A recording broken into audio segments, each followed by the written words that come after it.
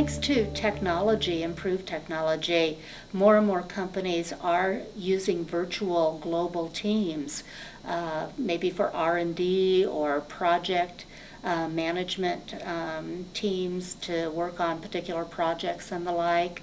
There are certain advantages. Um, one, of course, is cost advantage because you don't have to fly people to other countries to get them to work together. You also can tap into the diversity that's available through those global teams. You have diversity of cultures, diversity of experiences, and by having them communicate amongst each other, oftentimes you do come up with more creative solutions to problems. Um, you also, that's also a way to get closer to your different markets around the world so you have a better understanding of the needs of those different marketplaces. Some of the challenges of working with global virtual teams, though, um, one of the big challenges is that diversity.